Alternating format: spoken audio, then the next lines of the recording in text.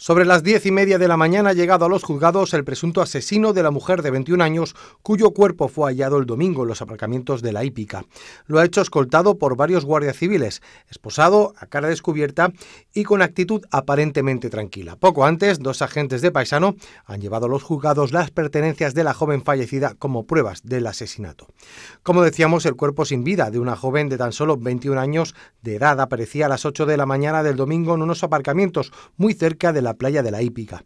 La Guardia Civil se hizo cargo del cuerpo que se encontraba recostado sobre una maleta, en principio sin aparentes signos de violencia.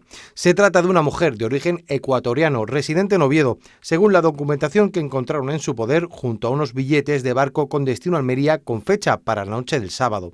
El levantamiento del cadáver se efectuó sobre las 10 de la mañana. Hasta ese momento, todas las líneas de investigación se mantenían abiertas hasta que dos horas más tarde y sorpresivamente se entrega en la Jefatura Superior de Policía un ciudadano de origen marroquí con un bebé que dice ser el autor de la muerte de la joven.